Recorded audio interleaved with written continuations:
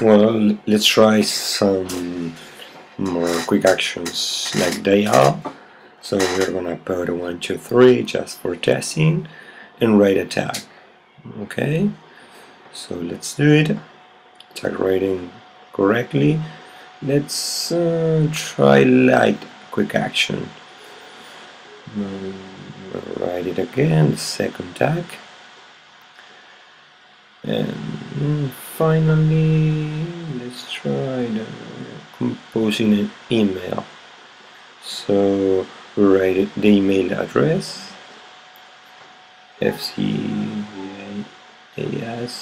at gmail dot gmail dot com. Mm-hmm. With a hello subject. And finally some tests. Let's write it. So here we go. Perfect.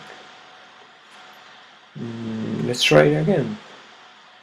If all everything was okay. So first one dial number. Just just that. The second one was turning the light on. Uh, as you can see the activity is launched and the light turns on.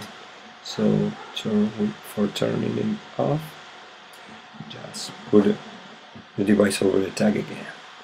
And the third one was for composing an email. As you can see an activity should launch. With the data we wrote. And here we go okay